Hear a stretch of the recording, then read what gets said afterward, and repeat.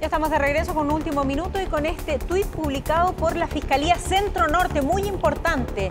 Tanto la Fiscalía como Carabineros en acción conjunta logran detención del tercer miembro de la banda autora del homicidio del suboficial mayor Daniel Palma. Imputado está implicado en la balacera previa al crimen del carabinero y fue detenido por el delito de homicidio frustrado.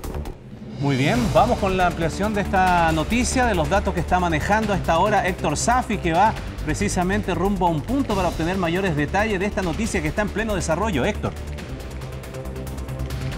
Efectivamente, Ramón Soledad es una información que es muy reciente, hace pocos minutos que la Fiscalía emana este tuit en su cuenta oficial e indica de la detención de este tercer implicado. Pero debemos eh, indicar respecto a que está implicado en la balacera previa y que es la que detona finalmente el procedimiento donde es eh, asesinado el cabo Daniel Palma, situación que ocurre ahí en San Francisco con Coquimbo. Este individuo se encuentra en dependencias del cuartel OS9 de Carabineros y es un sujeto que ya había sido interrogado y que estaba identificado por parte de la policía y de la fiscalía como uno de los que estuvo en el lugar de los hechos en esta balacera que inicia todo justamente hace una semana.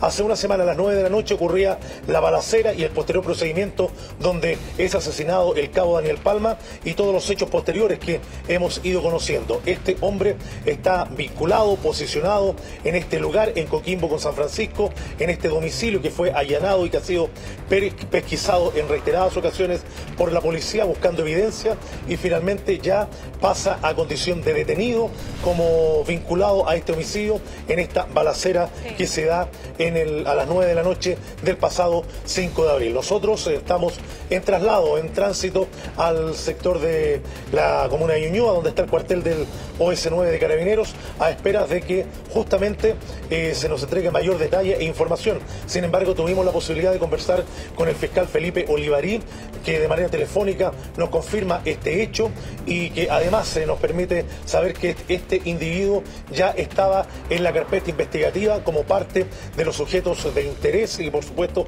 parte de los eh, individuos que habría participado en esta balacera soledad. Sí, en todo caso, dice aquí la información publicada por la Fiscalía que es detenido por homicidio frustrado, entendiendo que no está vinculado con el asesinato propiamente tal del suboficial mayor. Ahí lo ponemos. Y fue detenido por el delito de homicidio frustrado.